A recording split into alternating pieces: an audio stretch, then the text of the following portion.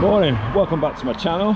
Um, we are here today in sunny Tilstone Fearnall, which is a village just outside Tarporley in Cheshire, in the northwest of England. So, a customer today, uh, family member, have had these electric gates installed. They've got a big project going on. They've had a couple of buildings um, put up.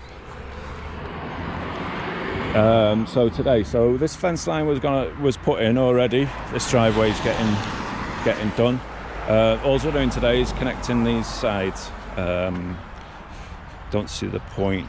The customer doesn't see the point in putting a gate in when you you already have electric gates for security. So we're going to be attaching some rails onto this metal post and then to this wooden post. Three rails again, and the same on the other side.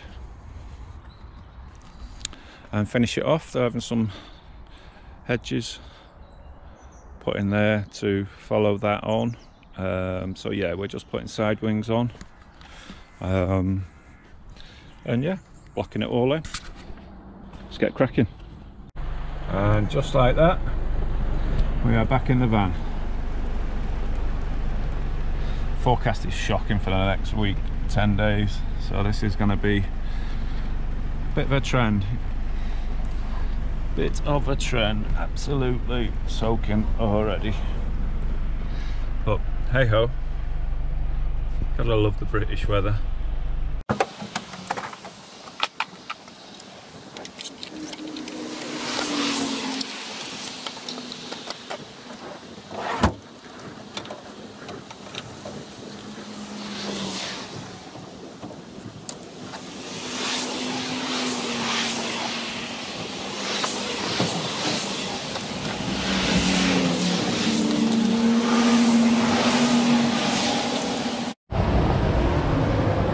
So today we're going to be using these Easy Drive hex screws.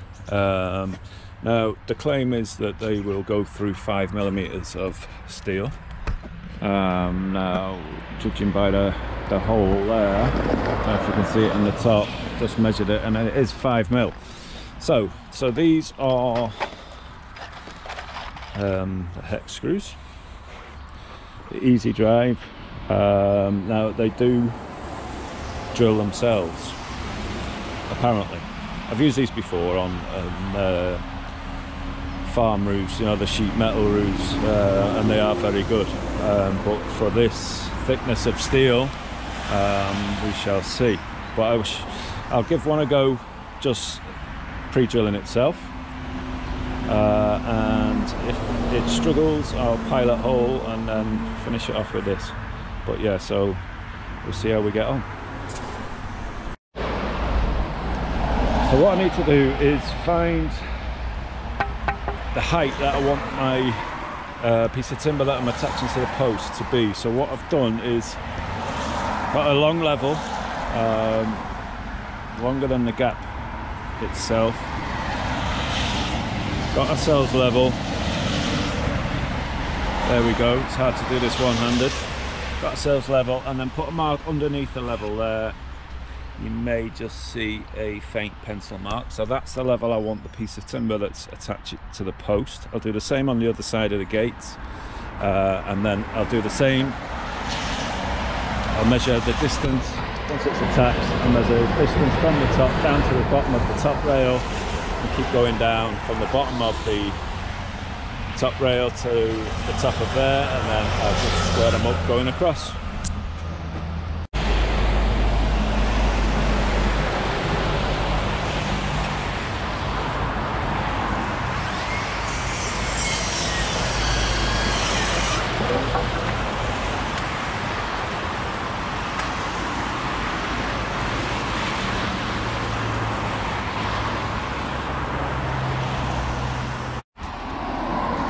So we should be ready now to go through. Just need to find the hole that we've, there we go. So it's cut through the metal, it's through the wood.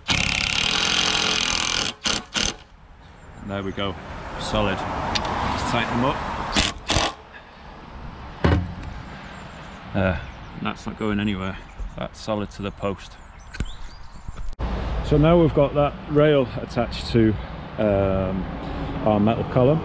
And because of the way the fence is configured and because of the way the posts for the gates have been put in there's no real I can't hang off here because the half rounds will be facing this way. So what I'm doing is I'm detailing this out of each round as we go down. So literally cutting this out. So cutting the profile out of the round. So when we actually go to fix that will be our corner fixing. Like so just tidies it up keeps me square. So our end will be like that and it'll be like that so it looks nice and secure from the front. I'll get them fixed in now. So just got it clamped there to the top the rail. So I mean I could just get the nail gun out uh, I don't see the point. This is under no pressure really so we'll just fire some uh, 70mm KTX screws through. So that's secure on there. Unclamp it there and we'll do the same on the other side but I haven't got enough hands so I'm gonna have to turn you guys off so there we have it. This side done. So we've got nice tight fixings in there. Oh good.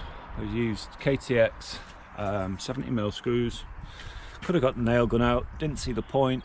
Um, and we've used the self-tapping hex heads um, to go through the the 5 mil steel post that holds the gate. So we'll go around the other side and that's what we're looking like so we've cut the profile out of the the rails. So we cut this this profile out on this rail on each one just because they weren't they weren't lining up right. So it's difficult to, to get it lined up just because they were both put in separately. So uh, you know one wasn't made to fit the other so we've just made it fit. So there we have it. Then these two fixings in there that's solid now. That's not going to go anywhere absolutely solid. So yeah all good. Let's get on with the other side. So just whiz through this side. Same process. Same process as the other side. All nice and neat. Nicely attached to the steel gate columns. Everything fixed everything secure. All to do now. Get the tools tidy cleaned packed away and then we'll have a look at the final view. So the gates are closed now just driven back from the sensors. So if we look at this so this is the, what we've done on the sides here just the side section. So we cut the profile out of the um, the half round rails. We attached the 3888 uh, timber to the steel posts. We've done the same this side so everything's level everything's secure. Again the profiles cut out on the sides there. Secure there. So this is what we're looking like from the back. Them two sides were open.